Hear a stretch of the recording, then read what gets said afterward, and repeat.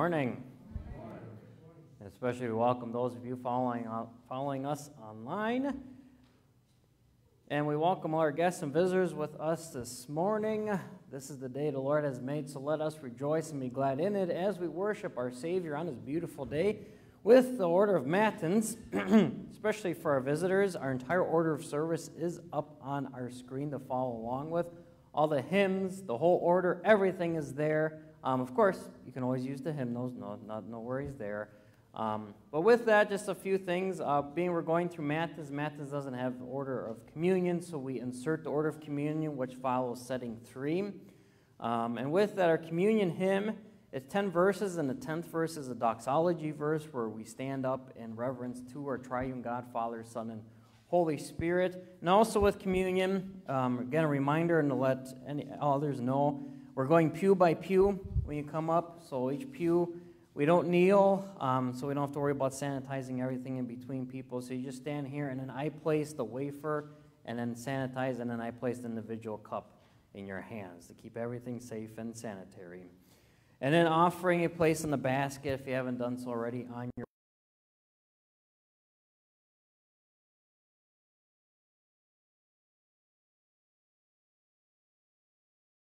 Hymn 941, one of my favorites. Uh, that should be all the notes for our worship today as we begin worshiping our Savior in this beautiful morning with hymn 587 I Know My Faith Is Founded.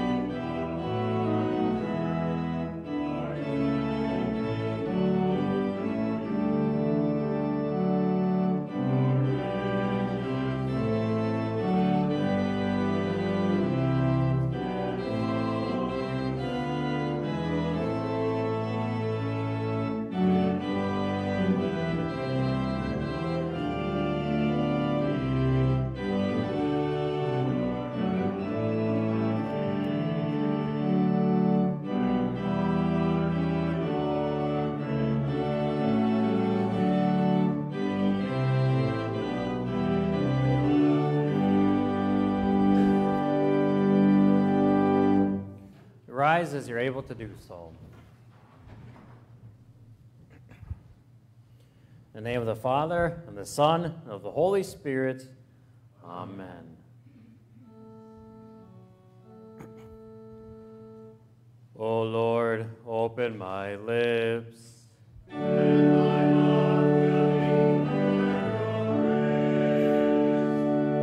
Make haste, O God, to deliver me. Blessed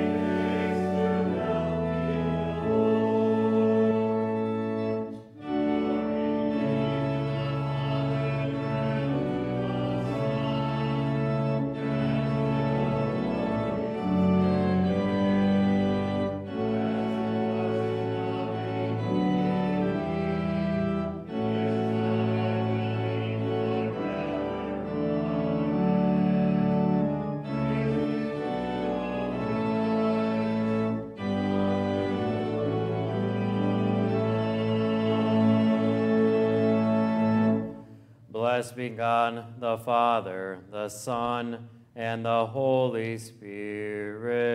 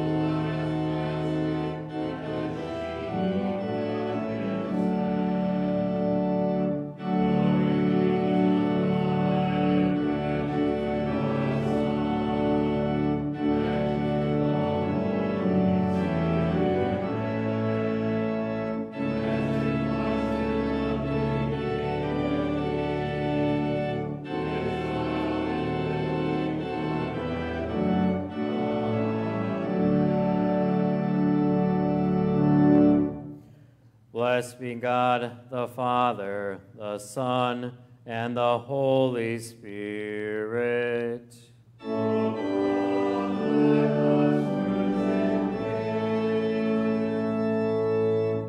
May be seated.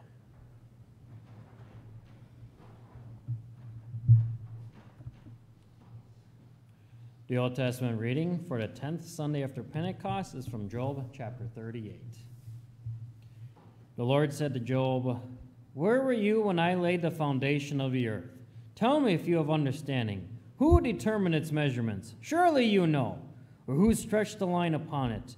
On what were its bases sunk? Or who laid its cornerstone when the morning stars sang together and all the sons of God shouted for joy? Or who shut in the sea with doors when it burst out from the womb? When I made clouds its garment and thick darkness its swallowing band? And prescribed limits for it, and set bars and doors, and said, Thus far shall you come, and no farther, and here shall you per- your proud waves be stayed. Have you commanded the morning since your days began, and caused the dawn to know its place, that it might take hold of the skirts of the earth, and the wicked be shaken out of it? It is changed like clay under the seal, and its features stand out like a garment. From the wicked their light is withheld, and their uplifted arm is broken. Have you entered into the springs of the sea, or walked in the recesses of the deep? Have the gates of the death been revealed to you, or have you been the gates, or have you seen the gates of deep darkness? Have you comprehended the expanse of the earth? Declare if you know all this. This is the word of our Lord. The epistle for this morning is from Romans chapter 10. Moses writes about the righteousness that is based on the law, that the person who does the commandments shall live by them. But the righteousness based on faith says, Do not say in your heart, Who will ascend into heaven? That is, to bring Christ down. Or who will descend into the abyss? That is, to bring Christ up from the dead. But what does it say? The word is near you, in your mouth and in your heart. That is the word of faith that we proclaim. Because if you confess with your mouth that Jesus is Lord and believe in your heart that God raised him from the dead, you will be saved.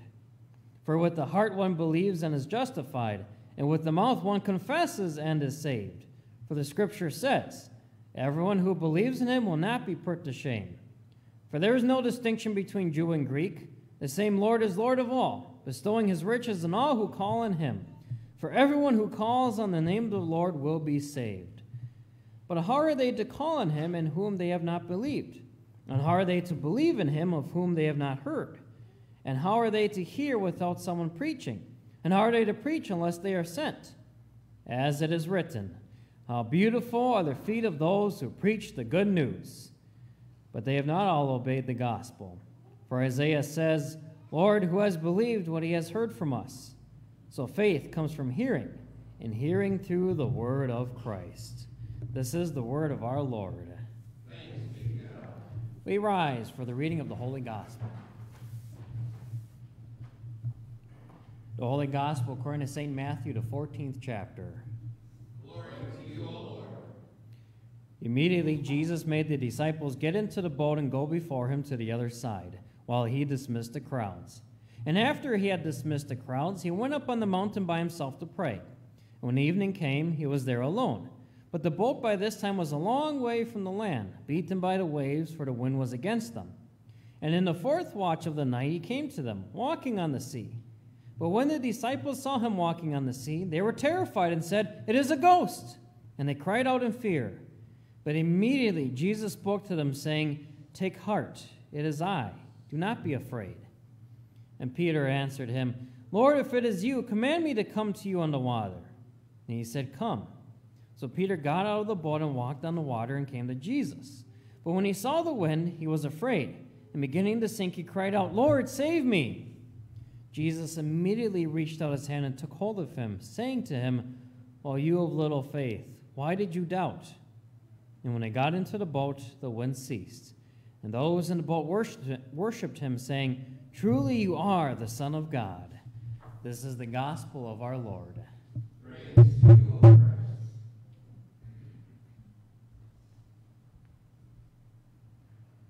Forever, O Lord, your word is firmly set in the heavens.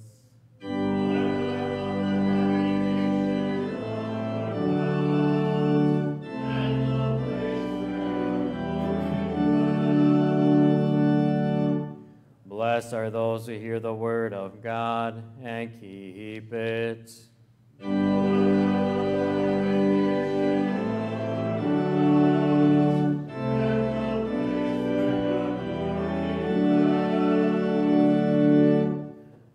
Be to the Father, and to the Son, and to the Holy Spirit.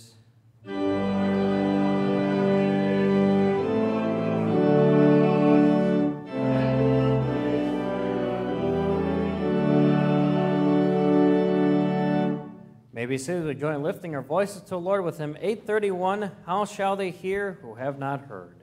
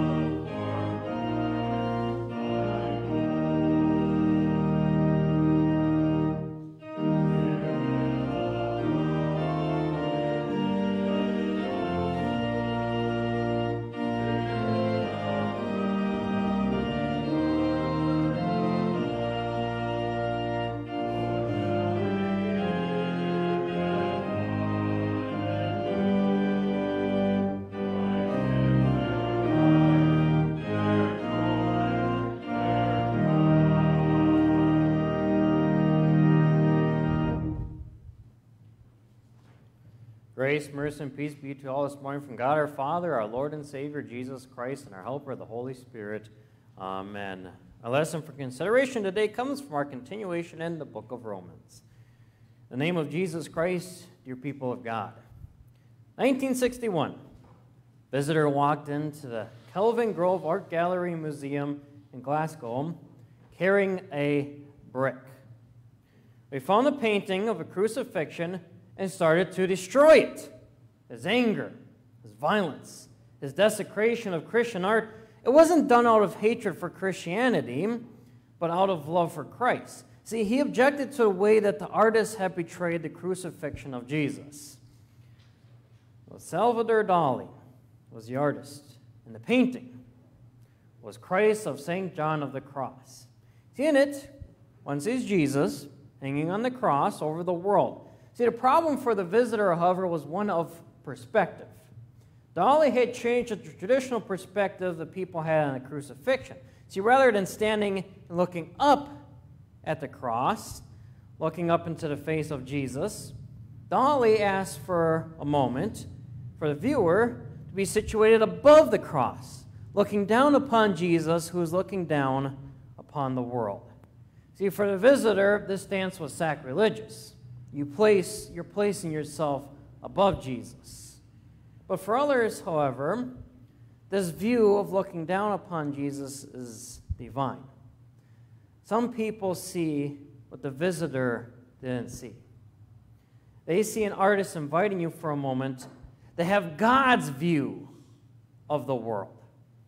Our Heavenly Father looks down upon a fallen world and he sees it through the eyes of his son Jesus dying on the cross for all people.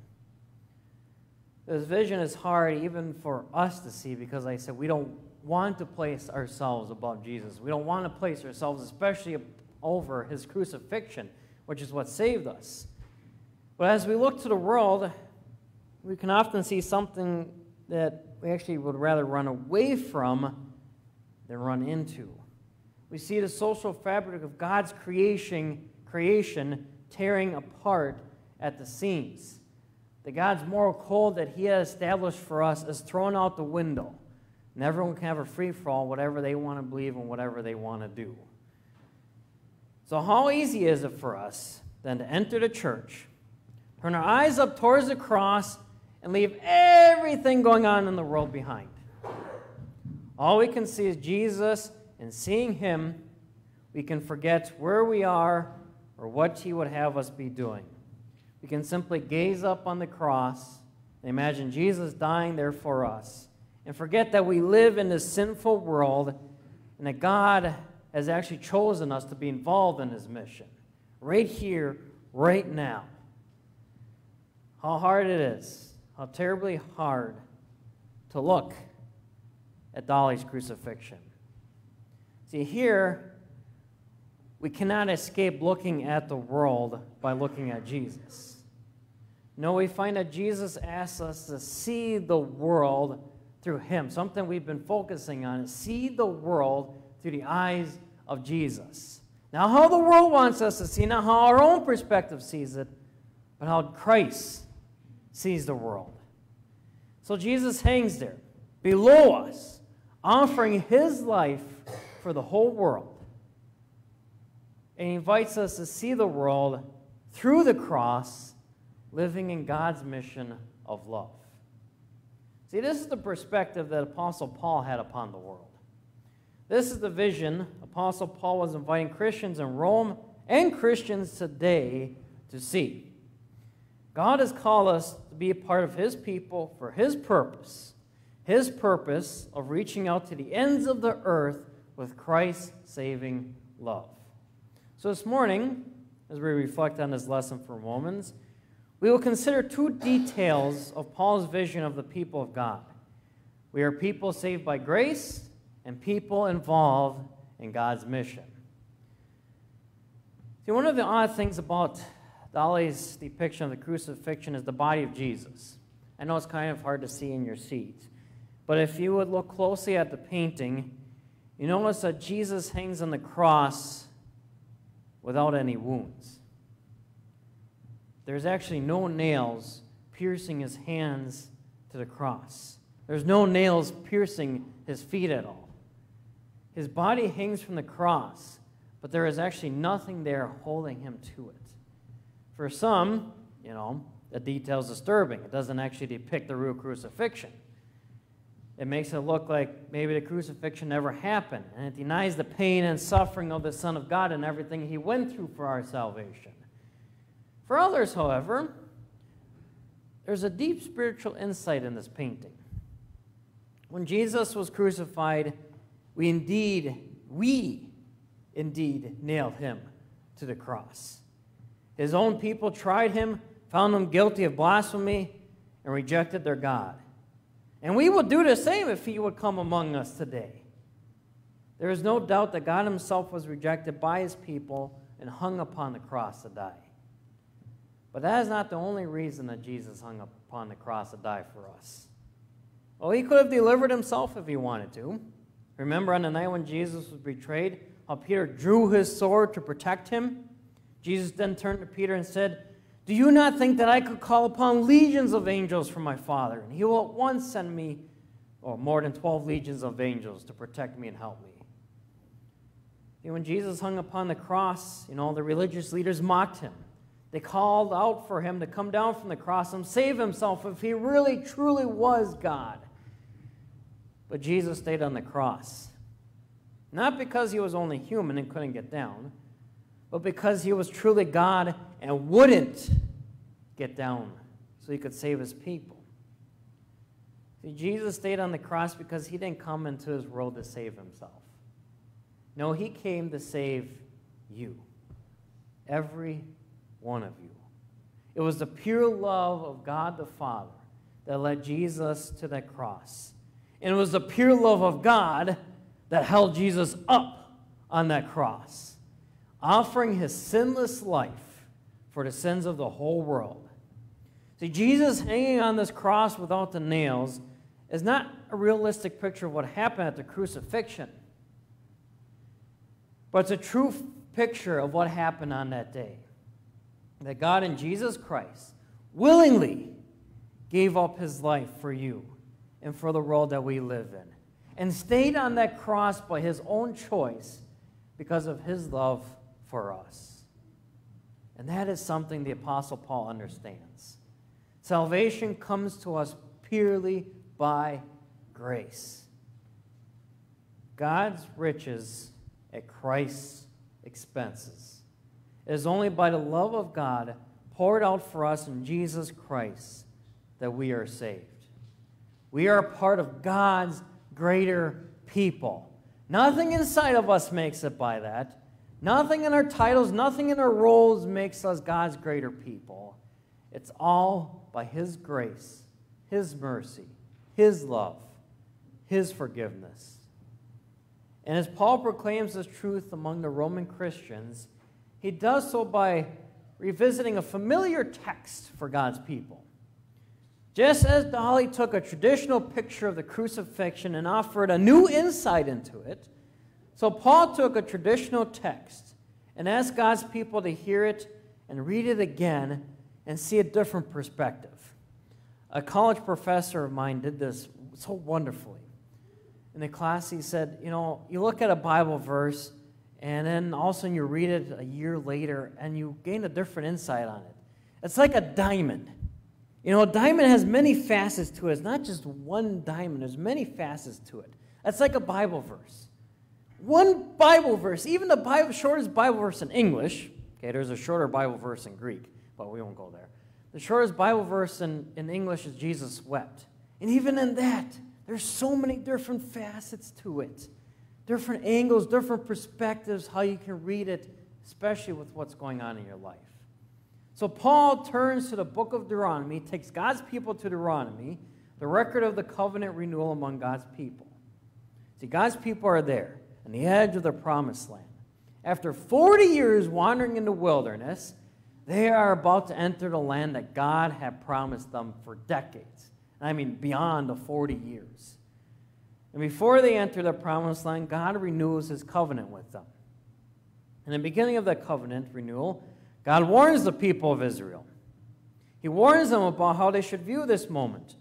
Moses says, Do not say in your heart after God has thrust the nations out before you, It's because of my righteousness that the Lord has brought me in to possess this land. Moses continues, Know therefore that the Lord your God is not giving you this good land because of your righteousness, for you are a stubborn people. See, Moses is asking them, telling them to look beyond their past. They were a stubborn people, and there is no way that they earned the promised land on their own doing. Well, at the end of the covenant renewal, God prophesies to the people of Israel. He speaks of a time when they will depart from God again, and they're going to be exiled from this good land that God is giving to them. And then God in mercy will come to them again, and they will repent, and God will bring a restoration. And we know this happened. And here, Moses is asking them to see their future. Their future lies only in the mercy of God. It is that vision of the future that Paul quotes here. Only as Paul quotes his vision, he has his own words for emphasis. Remember, God inspired Paul to write, so he wasn't adding to Scripture, he was writing Scripture for us. And he wants us to see the love of God freely given for all people now in Jesus Christ. For Paul, that day of restoration had come to God's people. Yes, historically, it had come when the people were brought back from Babylon and rebuilt Jerusalem and Israel again. But Paul sees beyond that, just like Moses and even Isaiah, pointing ahead. The day of restoration had come in Jesus Christ, and it had come purely by grace. See, with these words, Paul reaches out to his Jewish brothers and sisters, like we had talked about last week invites them then to join with the Roman Gentile Christians in confessing salvation in Jesus Christ by grace through faith.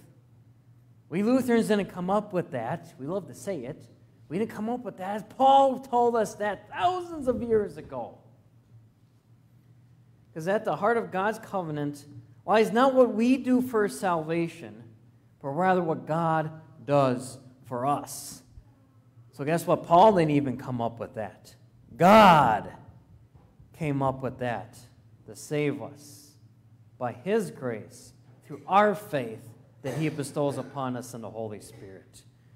See, we are not saved because we are mighty or numerous or because we have wealth or particularly holy people or we're better than others out there.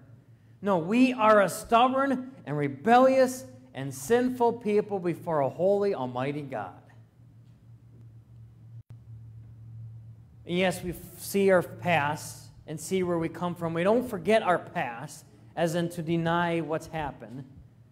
But we also look to our future, as we've talked about before a few Sundays. Because we know that we are saved by God's mercy and grace, made known for us in Jesus Christ. At the heart of God's restoration of all things lies the work of God in Jesus Christ. He came down from heaven he descended into hell and he rose again that we might be forgiven and be part of God's holy people who live by grace through faith. And as Paul offers a vision of life in the promised land, he helps us to see Jesus. But he also helps us to see Jesus at work to his people in the world. As you listen to his lesson, Notice how the promised land is not limited to a small piece of ground in Israel that right now is currently involved in fighting and a whole bunch of other things going on. Oh no. The promised land expands to include the entire world. Not the sinful fallen world that we know, but the world full of Christian believers. See, when Paul continues writing, he reveals this world encompassing mission of God. In Paul's words, we hear an emphasis upon everyone, all people, Jew and Gentile, as he was inviting both of them to join back together in the Christian church in Rome. God's mission is to bring his salvation to every corner of the world. And let me tell you, the mission is still going on thousands of years after Paul went on all his mission trips. And it's going on to the far corners of the world where we are sending missionaries and Bibles and catechism translated in their languages. We are reaching out to the ends of the earth, where Christianity isn't dying like it seems to be in, here in America and in Europe and even in Jerusalem, where Christianity started. Christianity is growing. Countries like Africa and Asia, because that is God's mission to bring salvation to all people. And for Paul, the mission of God is not something that merely hangs there in the sky. No, Paul brings a mission of God down to earth in the very mouths of God's people. And yes, like I said, we are sending missionaries and Bibles. And in VBS, you know, we sent them, we collected money to send books and Bibles and other, uh, other things out there for people to learn about God. But it even comes back to us. How beautiful are the feet of those who preach the good news. That God brings people into his kingdom through the word of faith that his people proclaim. Notice it's his people, not his pastors, not his missionaries, not his teachers, his people. Jew, Gentile, no matter who you are, his people proclaim. And Paul understands that he is part of that mission. Yes, he was called in a very special way. But it's just more than that. And yeah, he went on a lot of different missionary journeys, all over, all over the place. And he wanted to stop in Rome on the way. But a stop in Rome, however, will not be one of conversation, with Paul telling the Roman Christians what to believe. No, Paul anticipates that he too will hear words of encouragement and spiritual power from Roman Christians, that he too will be uplifted and inspired. Paul knows this truth about God's greater story that when God brings people into his kingdom, he brings them into his mission. Not just to sit in the pews and to sing some nice hymns and to be on our way. Oh no. His mission extends to the ends of the earth. And yes, I said we're reaching countries beyond what we could have imagined, beyond what Paul even would have imagined. But you know where the mission field starts? As soon as you walk out that doors. Your own backyard is a mission field. Now, yes, your backyard may be out there really in the boonies and you have no neighbors, but your backyard is Newberry, Eastern UP, all over the place wherever you travel and go. That God gives every single one of you, every person, a confession of faith, a word of faith that when spoken touches others with the power of God. And no, you don't need to spout off some fancy words at all. It's your everyday conversations with people, it's your everyday word. That's what touches hearts. The Word of God filled with the Holy Spirit. See, Paul wants Roman Christians to know, and you to know, as God's people today, to know that you have a purpose, a purpose in God's kingdom. God uses you in His mission to share with others the good news. And Dali's painting offers a visual reminder of this work of God. There, in the heights of heaven, is the cross.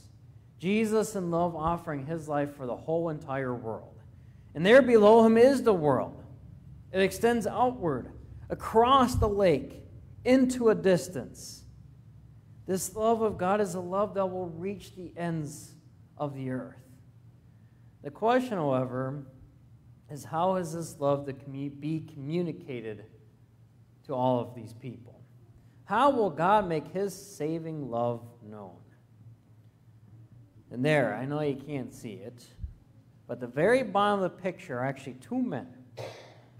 Two men going about their task of fishing near the boat. They seem to be plain men, fishermen, knowing nothing more than how to fish. And yet, this is what happens in the ministry of Jesus. He comes and calls plain fishermen, plain people who knew nothing about scriptures, as in the Pharisees or scribes knew it, and called them to follow him for three years and changed their lives dramatically. That then these men who only know fishing went out and continued to proclaim the word of God. These men are not sent into Rome to learn. They are invited to live with Jesus, to listen to him, to witness what he has done, and tell about that, proclaim that to other people.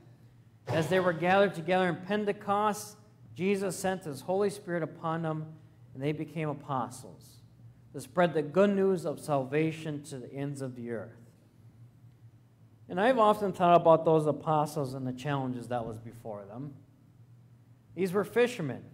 What did they know about public speaking? They didn't take any public speaking classes. They didn't learn all the other languages of the lands.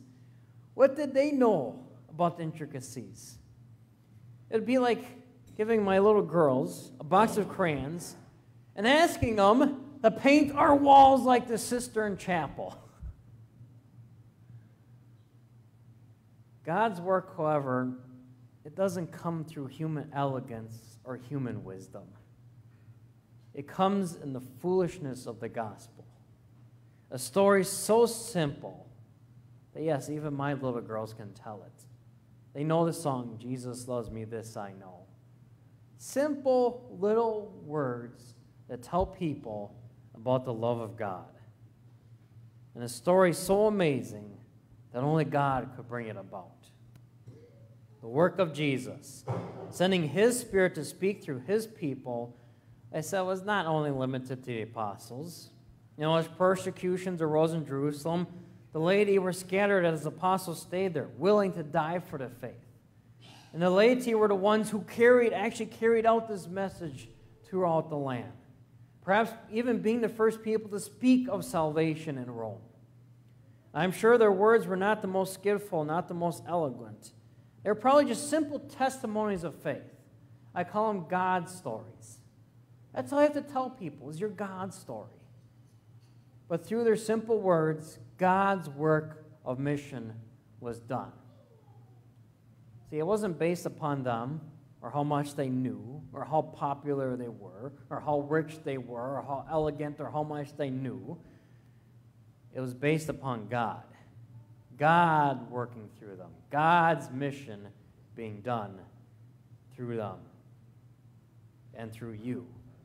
Your simple words. His work is done today. You don't need eight years of schooling, special training, studying Greek and Hebrew for years to speak of what God has done for you. As Paul writes, the word is near you, in your mouths, in your heart. God has called you, chosen you to be his people who live by his promise and live for his purpose, his mission to bring salvation to the ends of the earth. And after the visitor had attacked Dali's painting, it was removed from the art museum. And through careful, careful work, the painting was restored. And over time, it was brought back to the museum, where people again can see it today, as thousands of visitors go to Glasgow to see his painting. And they stand there and marvel at the beauty of Dali's work. Paul, however, knows of another restoration, a bigger restoration, a better restoration that causes God's people to stand there and wonder.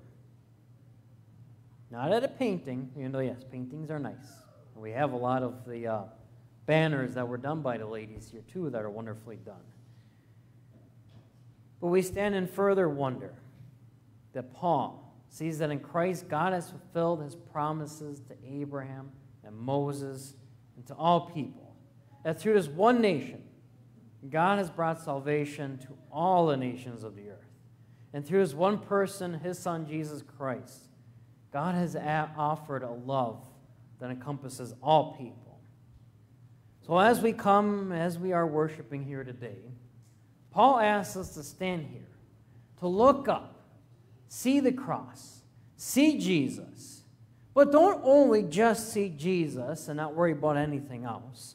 No, Paul changes our perspective so that we see Jesus saving us, but we see Jesus at work through his people bringing salvation to the ends of the earth.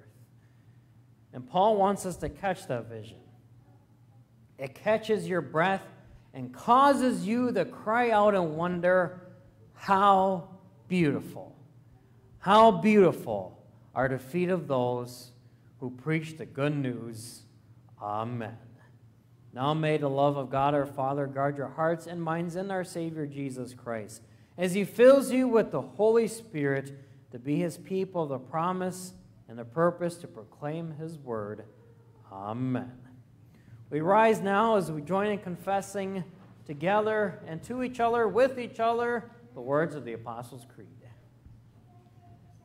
I believe in God the Father Almighty, maker of heaven and earth, and in Jesus Christ, his only Son, our Lord, who was conceived by the Holy Spirit, born of the Virgin Mary, suffered under Pontius Pilate, was crucified, died, and was buried.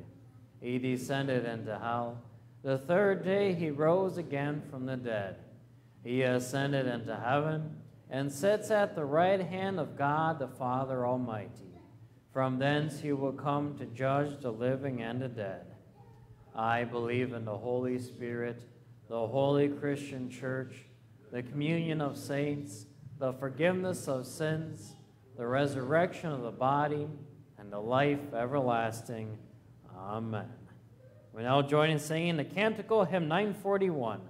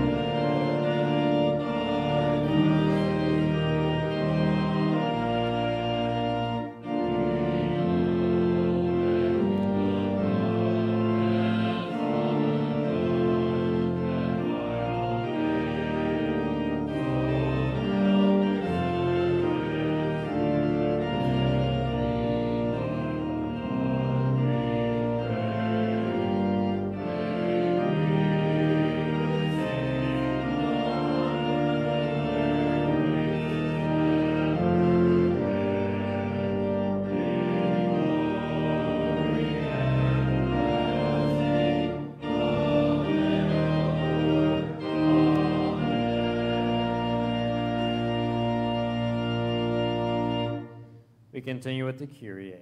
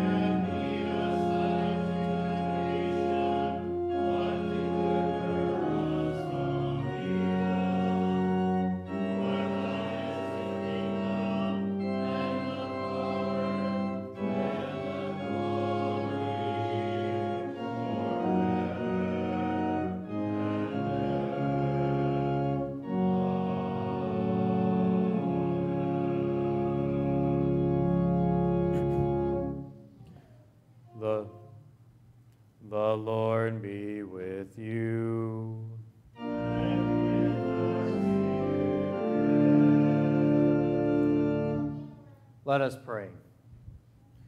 Almighty and most merciful God, preserve us from all harm and danger, that we, being ready in both body and soul, may cheerfully accomplish what you want done.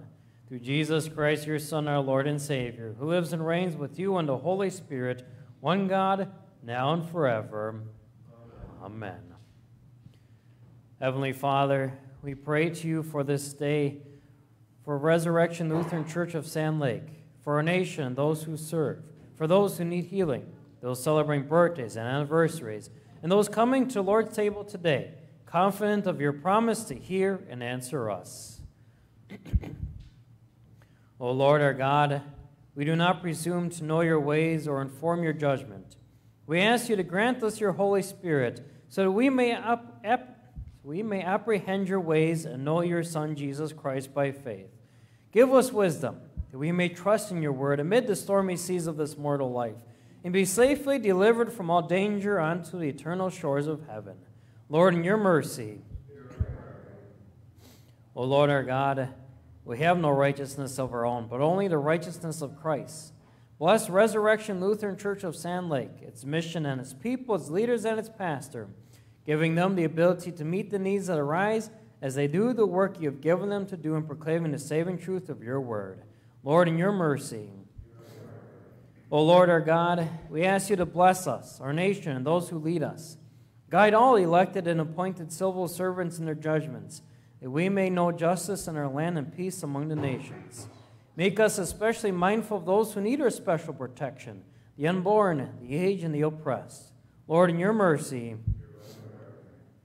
O Lord our God, we remember the sick, those who suffer, those troubled in mind, those plagued by the pandemic and virus, those who are grieving, and those who are dying.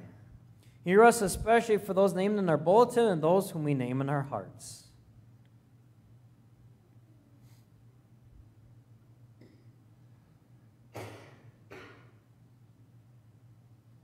Deliver them according to your will, and grant them the comfort of your word in their afflictions, that they may depend upon your mercy in every circumstance.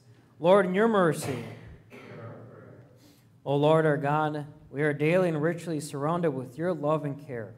Bless those celebrating birthdays and anniversaries this week, including Ruth Liss, Hillary Newby, and Pat and LaShawn Edwards, that as they celebrate another year of life for marriage, continue to watch over them providing for all their needs and granting them joyful celebrations. Grant them another year of life for marriage to come if it be your will, so they may continue to cherish, grow, and abide in your love and saving grace. Lord, in your mercy. O Lord our God, we do not presume to come to this your table trusting in our own merits. Give to us faith to discern Christ in his body and blood, and repentance that we may receive for our good his gift of himself in this blessed communion. What we have received with our lips, help us keep in holy, upright, and godly lives to share with others. Lord, in your mercy, O Lord our God, we pray you to be our light in darkness, our strength in weakness our courage in fear, and our peace in distress. Speak to us by the voice of your word, that we may call upon you in the day of trouble and confess your saving name before all people. Hear us on behalf of ourselves and those for whom we have prayed. Through Jesus Christ, our Lord and Savior, who lives and reigns with you in the Holy Spirit, one God, now and forevermore. Amen. O Lord, our Heavenly Father, mighty and everlasting God, you have safely brought us to the beginning of this day. Defend us in the same with your mighty power, and grant that this day we fall into no sin, neither run into any kind of danger, but that all our doings, being ordered by your governance, may be righteous in your sight. Through Jesus Christ, your Son, our Lord and Savior, who lives and reigns with you in the Holy Spirit, one God, now and forever. Amen.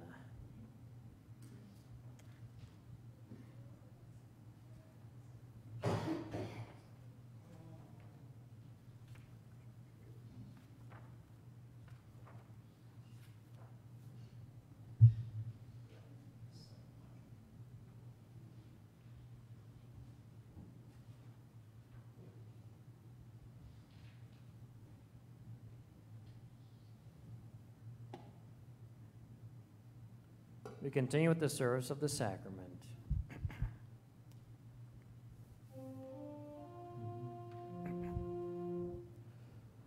The Lord be with you.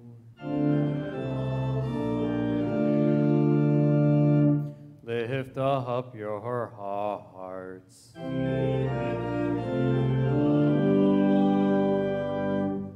Let us give thanks unto the Lord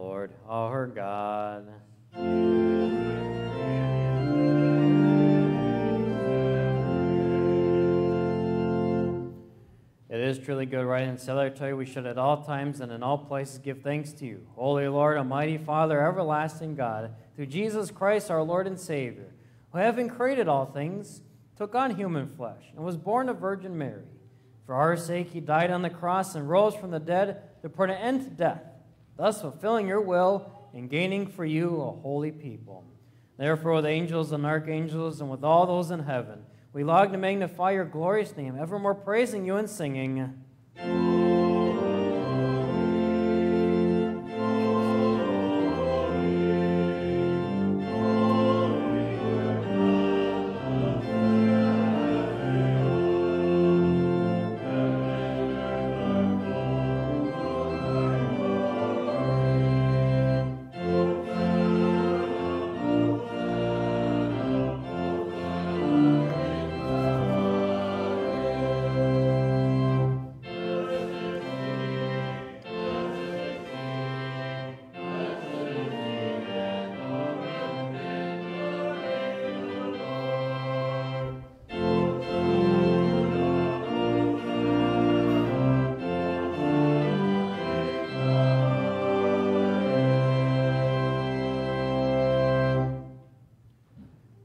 Our Lord Jesus Christ, and I was betrayed, took bread.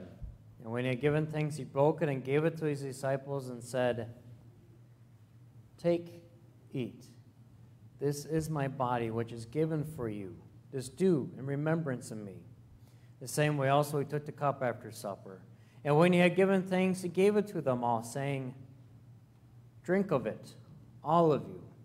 This cup is in the New Testament in my blood which is shed for you for the forgiveness of sins. This do as often as you drink it in remembrance of me. The peace of our Lord be with you always.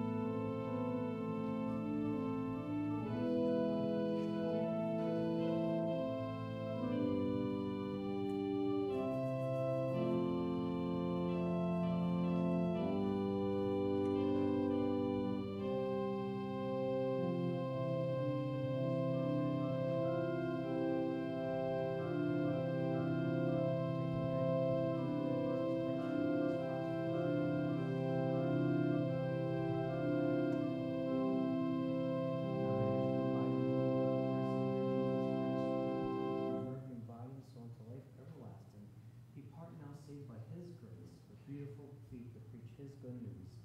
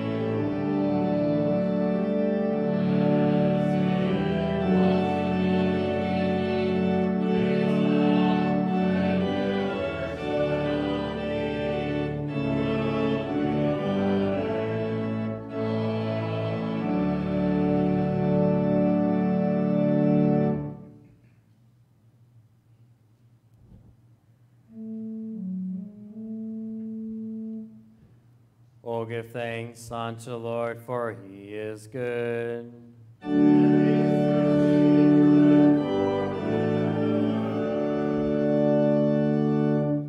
Let us pray.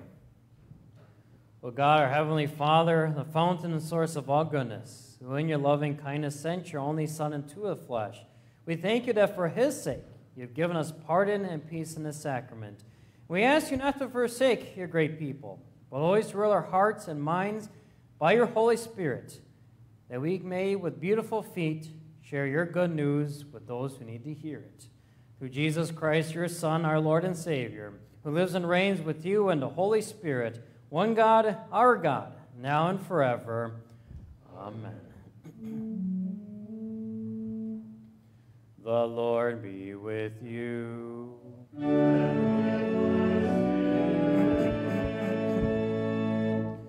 Bless we the Lord. The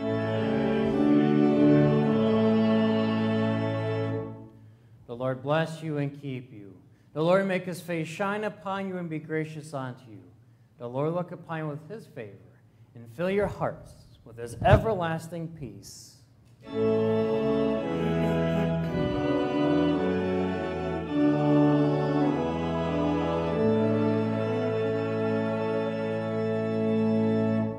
May see as we join lifting our voices to our Savior with hymn 523, O Lord of or Word of God incarnate.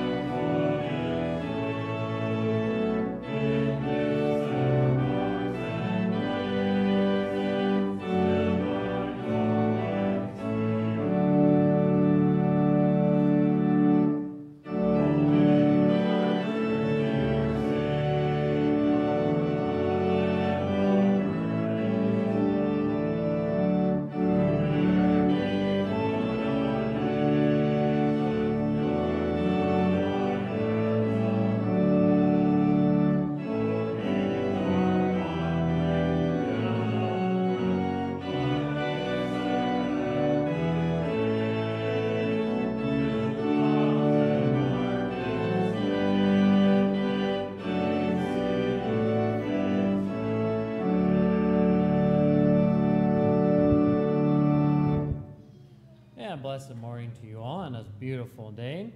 Uh, again, um, the scrip order, we're still collecting those today. They will go in this week, and so we will have those for next week, Sunday, to hand out. So if there's more scrip you want to order, if you have an order scrip, the forms are on the back table and the, and, um, the back of the church, and you can just place them in the offering basket to be counted. Today, after fellowship hour, we have just a council gathering to look at some things coming up, especially the plan for the fall. Uh, so we're going to look at those things. And it's in the bulletin, but I just want to make mention of it. Feeding America is going to be August 20th. It's a Thursday, and it's going to be at 10 o'clock in the morning because it's a different one. It's still Feeding America, but it's through a different way than what we've been receiving. And so, again, that's going to be a Thursday, 10 o'clock, August 20th. And before that, though, we invite you to join us downstairs for our little fellowship hour uh, with treats and goodies and coffee and juice downstairs as well. Oh, and one other thing. If you remember, um, you know, this year's been been a year, and the graduates, um, you know, they didn't quite get their uh, graduation and the end of the school year, and then they did, at least for ours. You know, they had it last end of last month out in the football field. Um, and we had five graduating from our church, and you know, we blessed them and sent them out, and we gave them little uh, gifts. Well, Lucas wrote us, uh, thank you, Lucas uh, Martin, that's um, Kitty's grandson. He wrote us a thank you. It says, Just want to thank you and ask the Lord to shower you with his blessings. Thank you, Lucas Martin. So I want to share that with you. I pray on the back table. And again, pray for them because now they're going to be going out to college, maybe, maybe not this year. And pray for all the kids as, you know, and the parents too and teachers as we contemplate what's going to happen with school uh, this fall. And pray for everyone as we go in peace with beautiful feet.